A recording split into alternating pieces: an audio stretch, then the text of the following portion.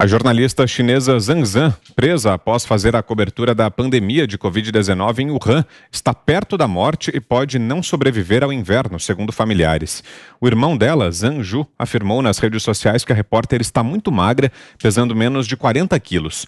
A jornalista declarou greve de fome após ser presa no início de 2020 e foi alimentada à força por sondas nasogástricas durante meses. A mãe de Zanzan contou à rádio Free Asia que a filha não consegue andar sem ajuda e que sua cabeça cai enquanto ela fala. A Anistia Internacional pediu a libertação imediata de Zhang para que ela termine a greve de fome e receba o tratamento que precisa. A organização Repórteres Sem Fronteiras também solicitou à comunidade internacional que pressione pela libertação da jornalista.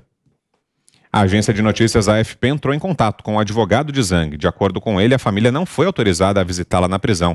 O sistema penitenciário da China não comentou o caso. Augusto.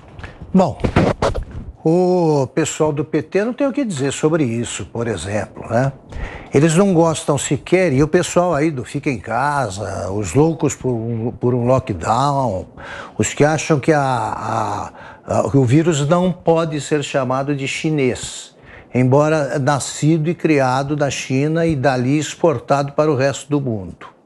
A China é essa ditadura, a China tão bajulada tá, por políticos oportunistas, tá, por cientistas de Araque, tá, por, por defensores de posições indefensáveis, eles fingem que não é uma ditadura como eles tratam as as, os dissidentes, os que ousam discordar de qualquer decisão do Partido Comunista, que é o partido único que governa o país. E por que esses brasileiros democratas, né, eles não fazem nada? Porque eles sonham com um regime parecido. Eles sonham reproduzir aqui no Brasil um regime de partido único em que prevalece a opinião deles. Eles não admitem, como a China, qualquer tipo de discordância. Olha aí o modelo que eles seguem e olha no que dá.